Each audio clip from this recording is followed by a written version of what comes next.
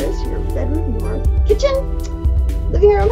I just um I just want to kind of talk about one of my favorite subjects, of course, which is uh all things Bible. But uh today I really do have something to share. Uh I want to share what I'm calling a wonder and a sign. You know, sometimes these are kind of dark times and people wonder where's God? I mean, this is this is pretty serious and I mean, of course, I have a lot of ideas and opinions what's going on, but I won't go through that today. What I want to I want to give an encouraging message. And I want to say that God is everywhere. Elohim, our Father, is everywhere. And I will want to give you something that you can carry with you. And every time you look in the mirror, every time you look at your child, every time you look at your favorite, you know, your dog, your pet, uh, you will see and it'll confirm to you that God is with you.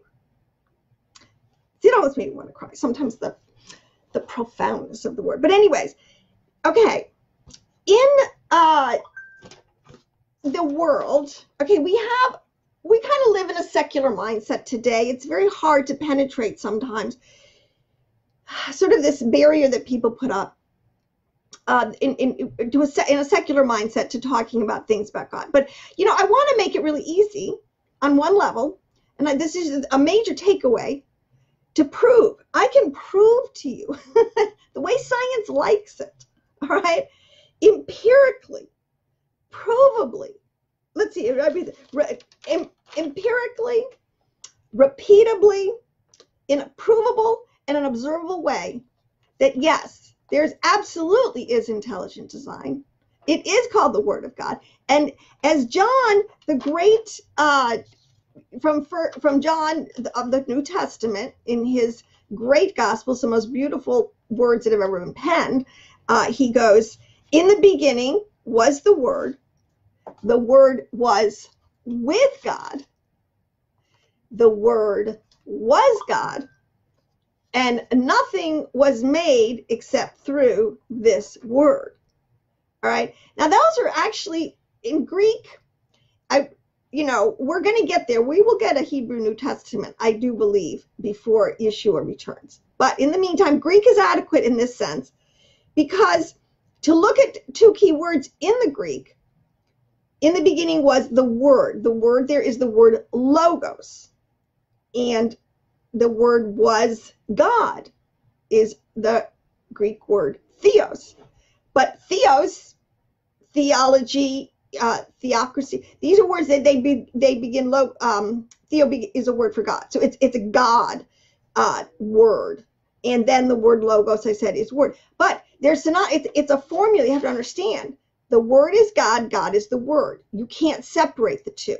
Just like you know, I have a body, but I also have, you know, this this mind and soul life. I have um, words projecting out of. You can't really separate the two uh, until I till a person dies. That's usually when the world says that their soul leaves their body. But normally in, in life today, they're pretty contained. You just, you get one, you get the other.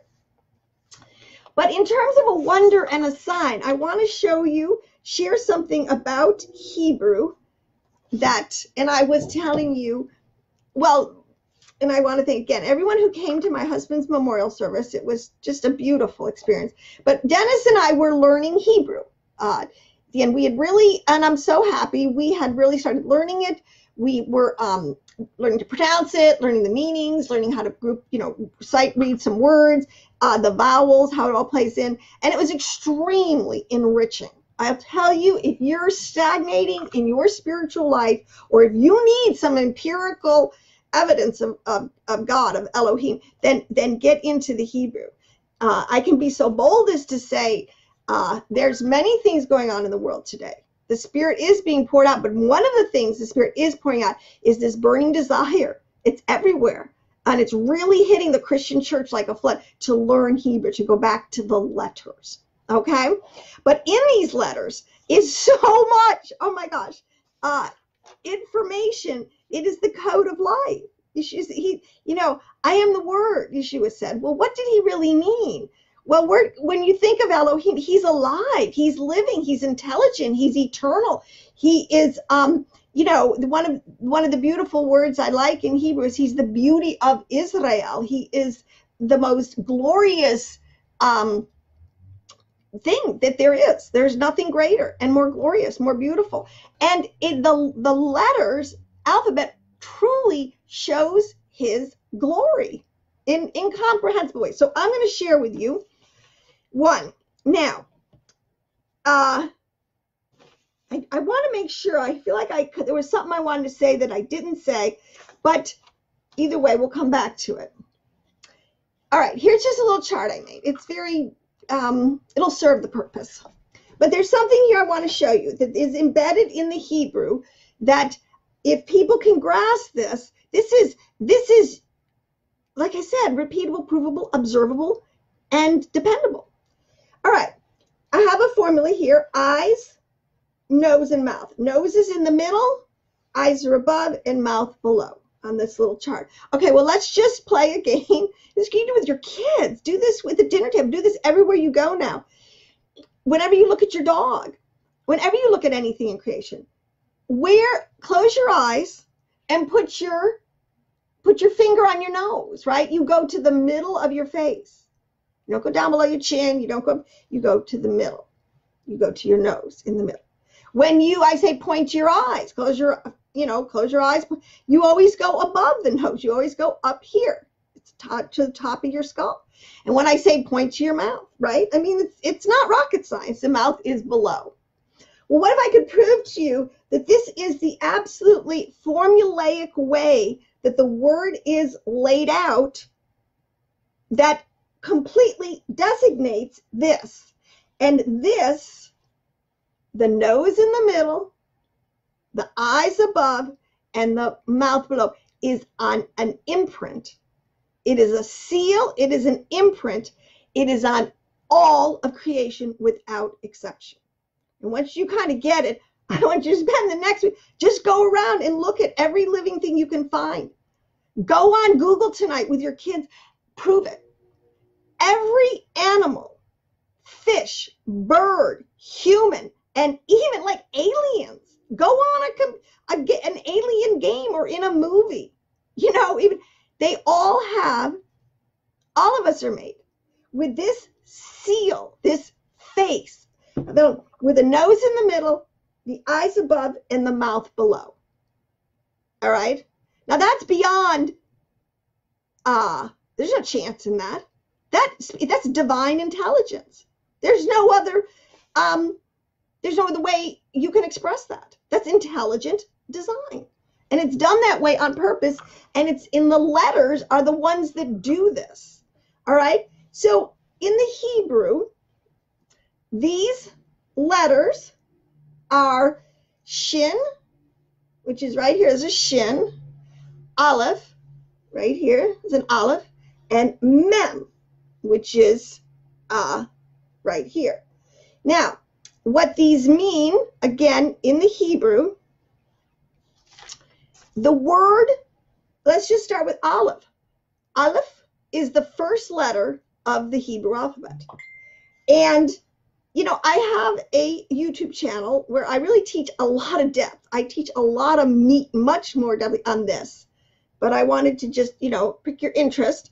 But uh, there's a whole lot of symbolism in this Aleph which actually, if you take it apart me- me- mechani- mechanistically, me- oh, what's the word I'm looking for? Machine, mission, Helfer, get it. uh, it's two yods and a vav. That's what it's made of. All right. And then the mem, this symbol here is, uh, it has an opening here. Everything about these letters gives you tremendous information. But to in, in the Hebrew, let's just say, shin is the word for light. It actually is uh, spelled, it's an ayin. It has the, the word ayin, which symbols of the eye, it's actually an eye pictographically. There's no getting around it. It's embedded in this, in this letter, which is here, which also is made up of four other letters. So shin is just a letter, but actually when you spell it out, embedded inside of it even is more letters all right? A shemek, hey, and a noon. Okay. Now, which is all very important in again getting more information. See, the thing about Hebrew, it's like it's not it's not like a language, it's a chemical language. It, it's made to embed information. And it's why the word of God, it's the word contains all things pertaining to life and godliness. Everything that we need to know about God is in the letters, which makes up the word, which, you know, ultimately translates into Torah. It's no accident. So this shin, which means eyes, which means light. Obviously, what do we do with our eyes? We see, right? And what do we need to see? We need light. So these words, it's all circular reasoning and everything equals everything else. So it's very, very neat and tidy. There's no, it's very logical, linear, and subset upon subset in the letters, and it's empirical. Each one of these is also a number. And if you go into the gematria, what they, what they, how they preserve the perfection of the word is certain when you add up the, the value of the letters and then it relates to other letters with that other words that have that same value and there's all this it's past finding out. I mean this is what the torah sages the, the, the prophets the rabbis the priests those who have preserved our word for us for for millennia thousands of years have have mastered that's why they call them masters of torah Okay, they understand this language in its in, in most minute uh, in detail. Now, the aleph is in the middle here. Aleph is the first letter of the Hebrew alphabet. And again, that's no accident.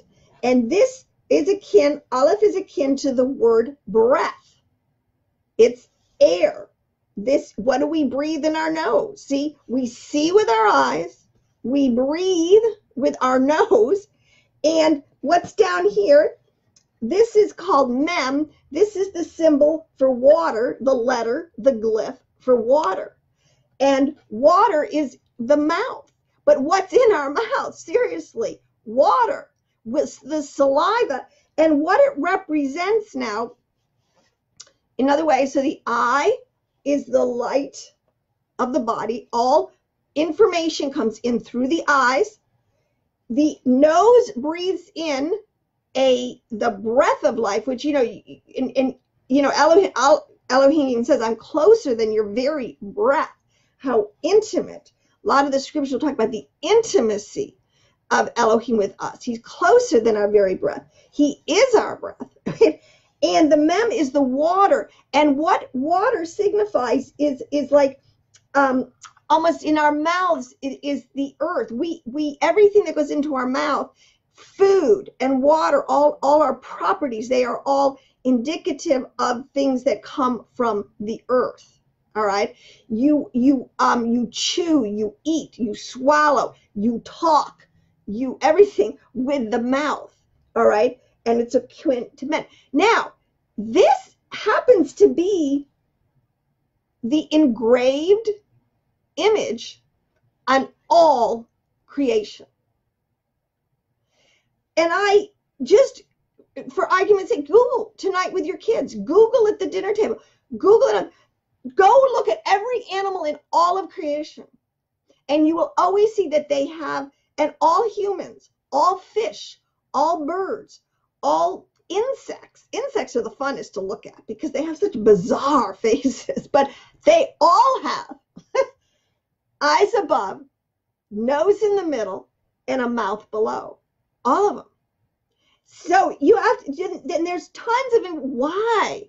Why these systems are placed in this order, why all of creation functions with that same face and physiology that's running through its whole system, and why and and so these letters these letters in hebrew are called the three mothers. Now this i will tell you this information is uh it goes back to abraham.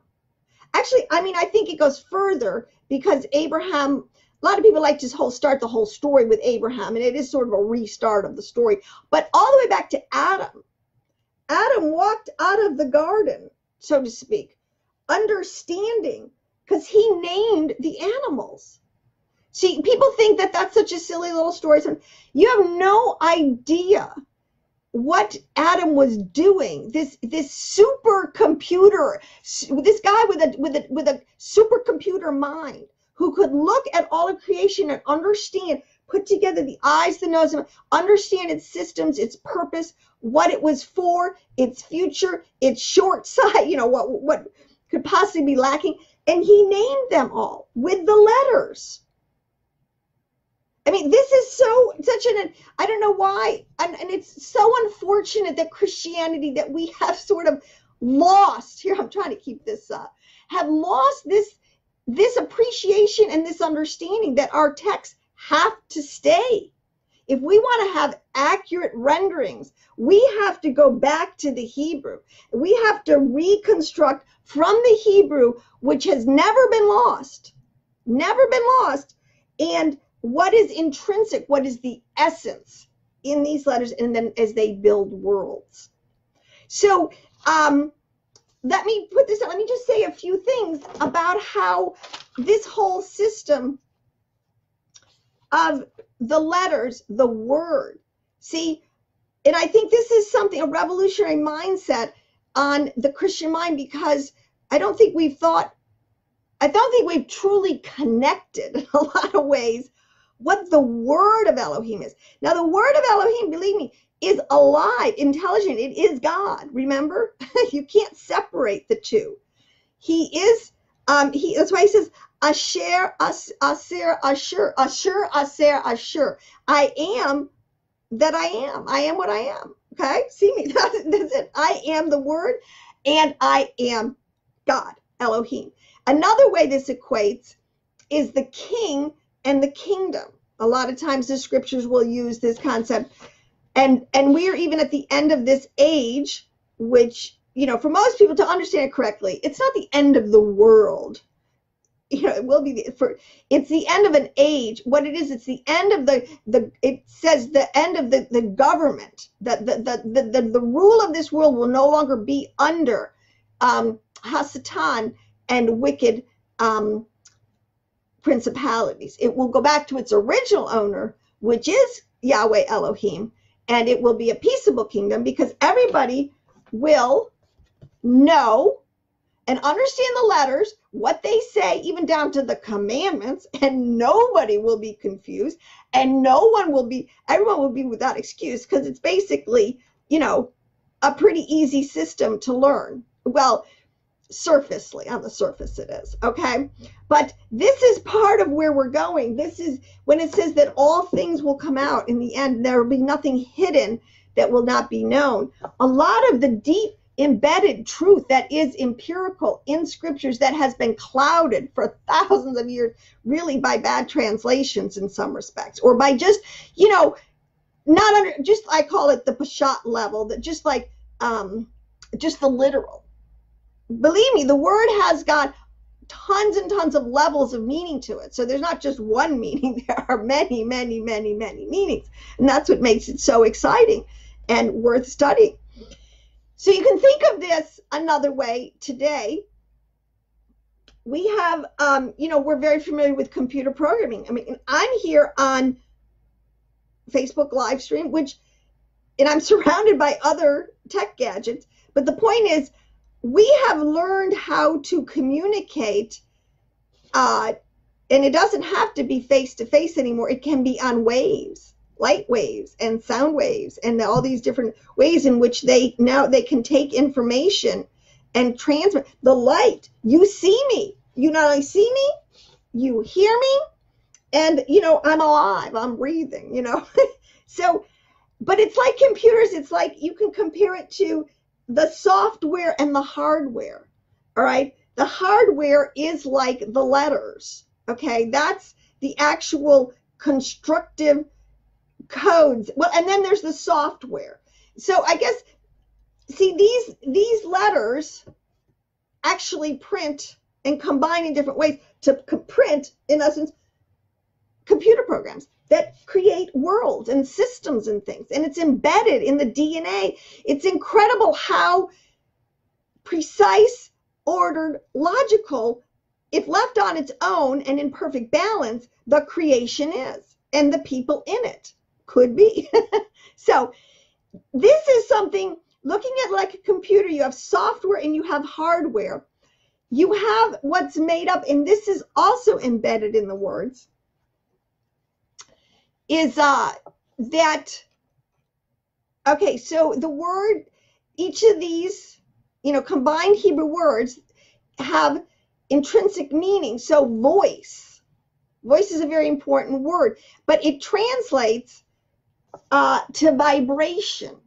Okay, now let me just tell you one more almost empirical proof that you know breath is the firmament, and if you really want to know if you if you were to graph out the um, this is the upper heavens in a in, in on all levels. So on different levels you can graph this out. So spiritually we see with spiritual eyes.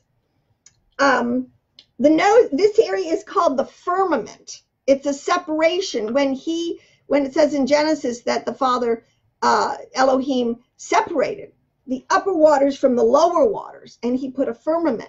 That's the letter Aleph. That's what I was saying. If you turn it this way, so you can, uh, it's two yods, a yod above and a yod below, and a vav in the uh, through the middle. There's so much that you can, but uh, I was going to a point. Okay, so voice, uh, which is akin to vibration, all right, and light waves. So we have, and then you have bits. So you can take this and think of it like, okay, so you have voice, you have light, and you have bits of information. And all of those go together uh, to create 3D, you know, not flat, um, sophisticated living. This is what the Bible says in the Hebrew, uh, nefesh chai, nefesh chai, or living souls. This whole system is designed to create living souls. And this whole system is imprinted on everything in that creation. Now, you can't make that up. I don't, you know, you can't deny it because you're going to walk around now when you look in the mirror and you're going to see that your nose is in the middle of your face and your mouth is below and your eyes are above and they all have specific and you cannot make your nose see and you cannot make your mouth breathe well i shouldn't you know we can breathe in but breathe you know you can't make your mouth see all right they're very very and they're meant to stay in their okay that's what i mean so you have a voice we have a sound wave we have a light wave, and then you have a bit. The bits, the basic units of information, which are our letters. That is the same construct that is going on all the time, day in and day out, where it says the whole heavens declare the glory of Elohim. Their, their voice goes out into all the earth. These systems operate galactically, um, quantumly, and physically. So there also, let me say one last thing about this because I want to, um, there, what I was trying to encourage Christians, I'm trying to encourage my Christian friends, take this walk down into the Hebrew roots. You'll, you will never be sad. This is our heritage. This is who we are. As I've said before, I'm trying to get my people that I know and that know me. we're, we're Hebrews. We are the lost sheep of the house of Israel. Biblically, we are called Ephraim, or, you know, the house of Israel. We're Israel in that sense. But let me show you again how, even in that concept, because, you know, Yeshua said, why it's been going on for two days, why, 2,000 years. You know, he came the first time, he's coming again, but it's obviously been 2,000 years. So, what's, why does that have to, why do you have to have this big wait? Well, because even as Yeshua said, he said, I have come for the lost sheep of the house of Israel. Now, let me give you another empirical, observable seal of that truth. In the Hebrew letters, all right, I told you that every letter is a number. And when you, and they should all bear witness. See, there's no contradiction. Everything bears witness to the truth. So the word 12 in Hebrew, all right, first of all, it's made up of two words, the way it works. It's made up of a of a of a yod of, of a two and a ten. So a two is numerical two, and the word for ten together. That makes 12. So if I told you that the north, and they always equate the math of the northern kingdom, they call it the, you know, two tribes versus 10 tribes. So even in the letters that make up the number 12, which is an overarching code word for the 12 tribes, it's made up of two words, a 10 and a 2, and that is a pictograph. That is the exact way to look at the way we are today. We're Ephraim, the multiplied seed of Yahweh in the earth of Abraham, and you have um, the Jews today, which are basically made up of, of two tribes and a lot of people that have joined on to that. I mean, so you can't, like I said, you can't make this stuff up. So that's why I keep, I'm encouraging people. This is, this is, we're in lockdown. Redeem the time. Get in, get deeper into your Hebrew roots. Understand your Jewish rabbi, teacher, Yeshua uh, and uh, get into these letters. It's it's positive, it's repeatable, it's dependable, and if you ever doubt that God is real, just look at your face. Look at the face of your grandchild. Only God could make that beautiful, perfect face. Oh, I'm sure you would agree with me. That makes me want to cry. Anyways, time for me to go start some dinner. I hope you enjoyed that. I'll be back Facebook Live, so enjoy. Share. Come to my YouTube channel. Uh, then I also have a, a Facebook page, The Elect Life. So, shalom, shalom.